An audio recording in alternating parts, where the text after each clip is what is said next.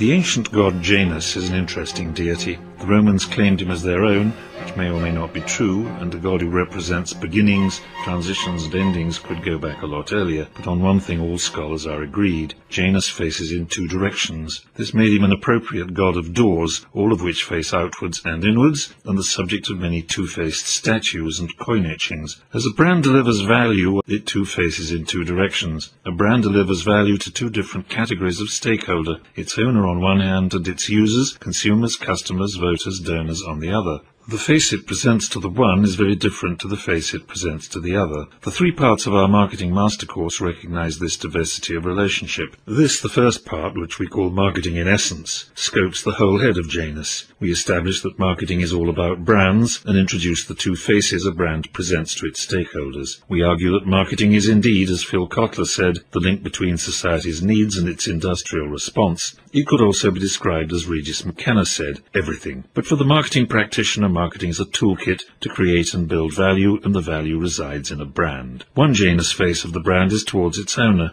The second part of our course will look more closely at the first face of the brand turned Janus-like towards the owner. But the owner will derive no benefit from the brand if the face towards other stakeholders does not smile, offering to them value as they choose the brand over others. This Janus face of the brand must persuade them to purchase, vote, donate or give their goodwill, accountant's term, building loyalty in a series of the value exchanges which Phil Kotler identified as being at the heart of marketing. So, the third part of our course, Marketing at Work, turns the spotlight onto these stakeholder groups and the tools deployed to secure their loyalty to the brand, the loyalty which over time accumulates to the benefit of the owner. So by the end of the third part of our course, the image of Janus is fully scanned. Whole head, face to owner, and face to what we will for convenience now label the customer. In our next class, the brand faces squarely towards its owner. We are truly at its very heart as we observe marketing in context. Join us.